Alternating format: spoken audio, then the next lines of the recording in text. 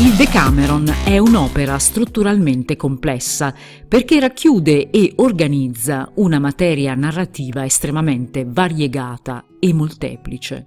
Al proemio, in cui l'autore presenta l'opera, segue l'introduzione alla prima giornata che introduce la cornice narrativa che racchiude le cento novelle. Nella cornice narrativa l'autore immagina che nei sei giorni della grande pestilenza si incontrino nella venerabile chiesa di Santa Maria Novella in Firenze dieci giovani, sette femmine e tre maschi appartenenti all'aristocrazia o alta borghesia cittadina, alla ricerca di consolazione dall'atroce spettacolo della peste che ha toccato molte delle loro famiglie.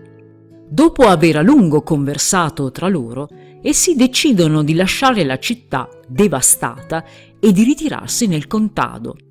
Ciò fatto, il giorno seguente, una delle sette ragazze, Pampinea, divenuta regina del gruppo per quel primo giorno, suggerisce di trascorrere il resto della giornata novellando, cioè raccontando storie.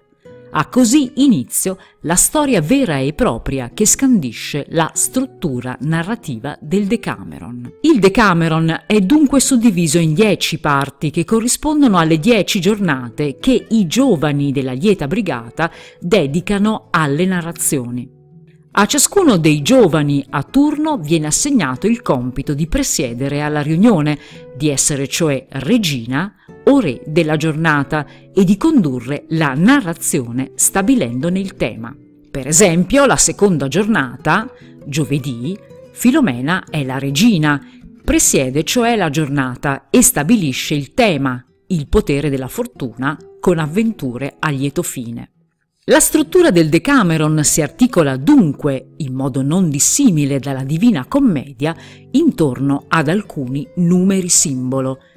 Il 10, ovvero il numero delle giornate che moltiplicato per il numero delle novelle da 100, 10 è anche il numero complessivo dei narratori, ovvero 7 ragazze e 3 ragazzi.